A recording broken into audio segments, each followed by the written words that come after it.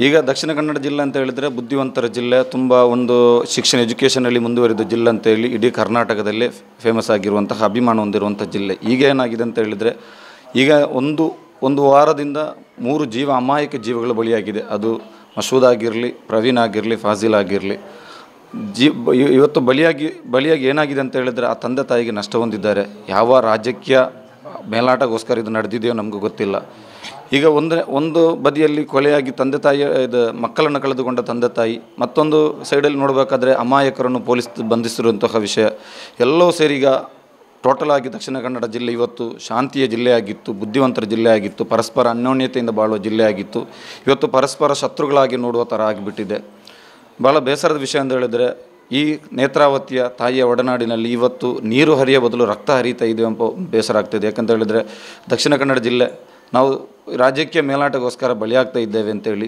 ಎರಡನೇದಾಗಿ ಫಾಜಿಲ್ ವಿಚಾರಕ್ಕೆ ಬಂದರೆ ಅಥವಾ ನಮ್ಮ ಸಹೋದರರು ಸ್ಥಾಪಿಸಿದಂತಹ ಬ್ಲಡ್ ಹೆಲ್ಪ್ಲೈನ್ ಕರ್ನಾಟಕ ಎಂಬ ಸಂಸ್ಥೆಯಲ್ಲಿ ಕೆಲಸ ಮಾಡಿಕೊಂಡು ಅದೆಷ್ಟೋ ಜೀವಗಳನ್ನು ಉಳಿಸಲು ರಕ್ತದಾನ ಮಾಡ್ತಿದ್ದ, ಪ್ಲೇಟ್ಲೆಟ್ ದಾನ ಮಾಡ್ತಿದ್ದ, ಇನ್ನೊಬ್ಬರಿಗೆ ರಕ್ತದಾನ ಮಾಡಲು ಮಾ, ಪ್ರೇರೇಪಣೆ ಆಗ್ತಿದ್ದ ಅಂತಹ ಒಂದು ಸಹೋದರ ಇವತ್ತು ದುಷ್ಕರ್ಮಿಗಳ ದಾಳಿಗೆ ತನ್ನ ರಕ್ತವನ್ನೇ ರಸ್ತೆಯಲ್ಲಿ ಹರಿ ಹರಿದು ಅದೆಷ್ಟೋ ಜೀವಗಳು ಉಳಿಸಬೇಕಿದ್ದ ಫಾಜಿಲ್ ಇವತ್ತು.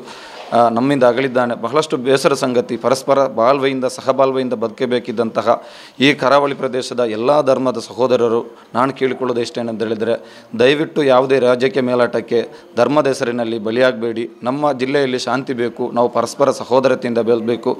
ಅದೇ ರೀತಿ ದಕ್ಷಿಣ ಕನ್ನಡ ಜಿಲ್ಲೆಯಲ್ಲಿ ದೊಡ್ಡ ಮಟ್ಟದ ಕೋಮು ಸಂಘರ್ಷ ನಡೆಯದಿದ್ದರೂ ಅದರ ಮಾಧ್ಯಮಗಳು, ಕೆಲವೊಂದು ಪಿತೃ ಮಾಧ್ಯಮಗಳು ಇದು ಟಿ ಆರ್ ಪಿಗಾಗಿ ಅಪೇಪಿಸುವಂತಹ ಕನ್ನಡ ಕೆಲವು ಮಾಧ್ಯಮಗಳು ದಕ್ಷಿಣ ಕನ್ನಡ ಜಿಲ್ಲೆಯಲ್ಲಿ ಅದೇನೋ ದೊಡ್ಡ ಗಲಭೆ ನಡೆದಂತೆ ಬಿಂಬಿಸ್ತಾ ಇದ್ದಾರೆ.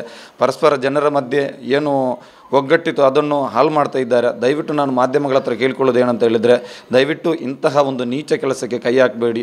ಫಾಜಿಲ್ ಬಗ್ಗೆ ನೀವು ಇಲ್ಲ ಸಲ್ಲದ ಆರೋಪ, ಮಸೂದ್ ಬಗ್ಗೆ ಇಲ್ಲ ಸಲ್ಲದ ಆರೋಪ, ಪ್ರವೀಣ್ ಬಗ್ಗೆ ಆಗಿರ್ಬೋದು ಇದನ್ನೆಲ್ಲ ಮಾಡಿ ಒಂದು ಒಂದು ಊರಿನ ಶಾಂತಿ ನೆಮ್ಮದಿಯನ್ನು ಕೆಡಿಸ್ತಾ ಇದ್ದೀರಾ? ಒಂದು ಊರಿನಲ್ಲಿ ಭಯನ್ನು ಉತ್ಪಾದಿಸಿದರೆ ಖಂಡಿತವಾಗಿಯೂ ಇಂಥ ಕೆಲಸಗಳಿಗೆ ಮಾಧ್ಯಮ ಕೈ ಹಾಕಬಾರ್ದು. ಯಾಕೆಂತ ಹೇಳಿದರೆ ಸಂವಿಧಾನದ ನಾಲ್ಕನೇ ಅಂಗವಾಗಿ ನಾವು ಗುರುತಿಸ್ ಗುರುತಿಸ್ತಾ, ಗೌರವಿಸ್ತಾ ಇರುವಂತಹ ಮಾಧ್ಯಮ ಇವತ್ತು ನಾವು ನಮ್ಮ ಕೈಯಾರೆ ಅದನ್ನು ನಾವು ನಿಷೇಧಿಸುವಂತಹ ಒಂದು ಪರಿಸ್ಥಿತಿಗೆ ತಲುಪಿರುವುದು ಖೇದಕರ.